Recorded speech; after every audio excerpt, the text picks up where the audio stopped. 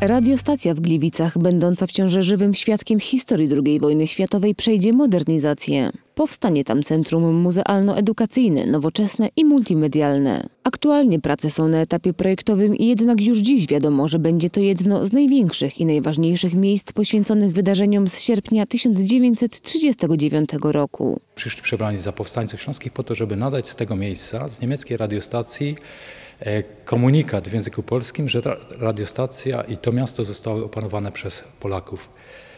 Ten e, komunikat słyszalny równocześnie już w chwili nadania w Paryżu i w Londynie dla rządów tych państw miał być dowodem na to, że Polacy rozpoczęli jakieś kroki wojenne przeciwko Niemcom. Teraz obiekt ma szansę nie tylko na tchnienie drugiego życia, ale wpisanie na światową listę UNESCO. Pierwsze kroki przedstawiciele Gliwickiego Muzeum już podejmują, starając się o umieszczenie radiostacji na narodowej liście informacyjnej. Do rozpoczęcia ważnej, ale i dużej inwestycji potrzeba funduszy, stąd miasto wskazuje, że bez wsparcia środków unijnych może być to trudne. Wkład własny y, do takiego projektu, jeżeli uda się uzyskać dofinansowanie unijne, na pewno zostanie przez miasto Gliwice wyłożone. Jakie to są pieniądze, to w tej chwili nie wiemy, natomiast to zależy od warunków konkursu i tak dalej.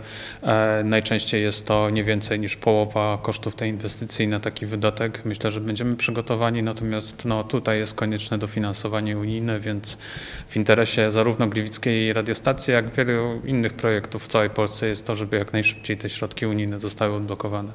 Jeśli wszystko pójdzie zgodnie z planem, Gliwicka radiostacja w nowoczesnej odsłonie zostanie udostępniona zwiedzającym za kilka lat. W planach jest stworzenie podziemnego muzeum, w którym cała historia radiostacji zostanie opowiedziana. Będzie przygotowany oczywiście program, który, e, ten program e, edukacyjny właśnie.